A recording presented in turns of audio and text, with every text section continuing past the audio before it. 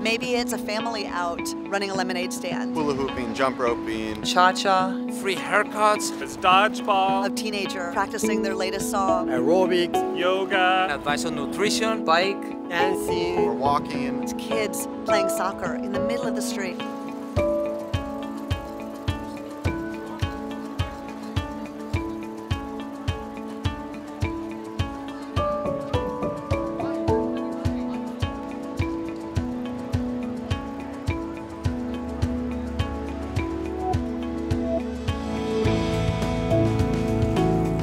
Streets are when you temporarily close a street to people driving and then open it up for people biking, walking, skating, running, pretty much do anything but drive a car. And it's a really amazing way to activate a street and to get a whole wide variety of people together as a community to be, yes, physically active, but also social. It's like an exercise in social integration. You get young and old, rich and poor, fat and skinny. You get everybody. To enjoy the ciclovia or open streets, all you need is two feet and a heartbeat. All races, all ages, looking at each other in the face, smiling, being, there's sort of like this civic pride of, of people being together in public space. Well, the notion that streets are for people uh, is a very powerful concept. And I think Summer Streets underscores that concept, celebrates the concept that streets are for people. It's a wonderful experience for anyone who really lives in a city dominated by cars, just being to enjoy uh, places where never you imagine to be walking because the cars really take all of our streets. When you take a look at any city from the air, the biggest public space are the streets. So the ciclovia open street is showing people that the streets can have different uses according to the time of the day, the day of the week, the week of the year. It's a great way to bring in new folks who are maybe interested in, in biking more and walking more and adding more physical activity to their lifestyle, but aren't sure how. We sort of default to the automobile uh, is the only thing that can happen in the streets and trucks and buses. And the reality is that if you look back to the turn of the last century, there weren't any automobiles and it was people using the streets on streetcars, people on horses, people on bicycles, and people walking in the streets. It's been wonderful for New Yorkers, I think, to see their city assets differently. So you look up and you're really able to appreciate the unbelievable architectural beauty uh, that surrounds us in New York City and see those buildings up close in a way that you don't when you're speeding by in a cab.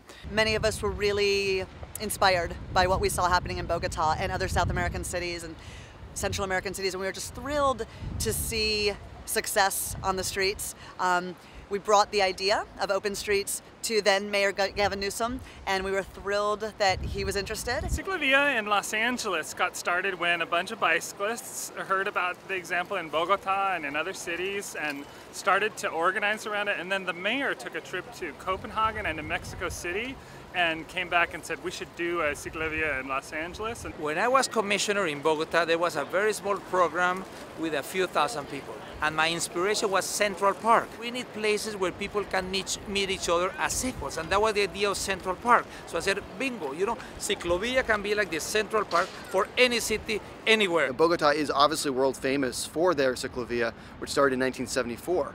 But as early as 1965, cities like Seattle, um, then soon thereafter in 67, you had New York and San Francisco closing off streets to cars so that people could, um, could recreate. So this is actually a movement that was born right here in America. But we've seen in the past five or so years the number of open streets initiatives in North America expand by about tenfold.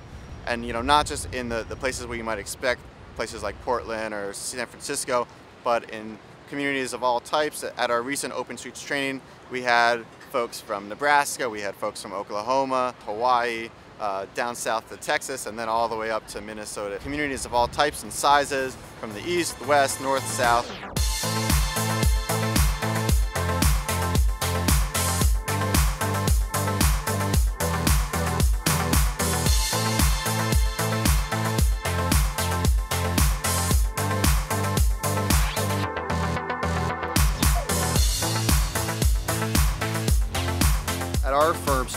We decided to do an internal research project on where this is happening and the best practices. And as we were researching, more and more initiatives kept getting planned, so we kept doing more and more research. Um, and that's when we decided to partner with the Alliance for Biking and Walking and seek out a grant to produce what we call the Open Streets Project, which is the only comprehensive source of information for open streets uh, in, in North America. We recently had our first ever National Open Streets training in Minneapolis. We had leaders from 50 communities of all sizes from across the continent introducing many folks to the concept of, of, open streets, going through the different aspects of planning. So talking about how do you choose your route, how do you partner with local organizations, how do you recruit volunteers. In San Francisco, I think one of the great successes that we're seeing is real data and measurements showing that Sunday Streets is improving people's health. It is improving people's activity level. When people come out to Sunday Streets, they are more likely to get more physical activity more often. And in fact, World Health Organization over the last uh, five years already adopted the idea that public transit, that ciclovias, biking is something so critical to achieve the minimum amount of exercise that we need to have a, a healthy life. There was a seven-year-old who got separated from her parents who rode seven and a half miles and was located on the other end of the route. So it just creates this really safe space. When people are creating ciclovias or open streets, there is always some resistance. And the better the city, the more resistance because sometimes it's more difficult to go from good to great than from bad to great. But nevertheless, people gotta realize change is hard when people are coming out to these commercial corridors and, and, frequenting Sunday streets, they're also spending money at the local businesses. They're learning about new neighborhoods, and we are seeing economic activity go up.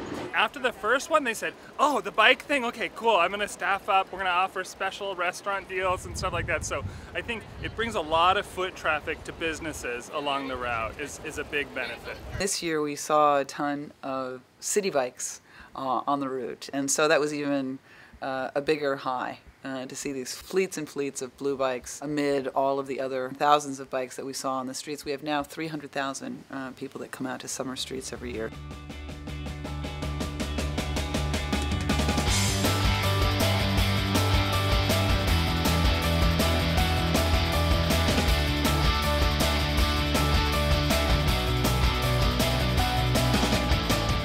Think it's so popular now that I think if you spin the globe, uh, wherever it stopped, you'd probably find a city that's either done a ciclovia or is planning a ciclovia.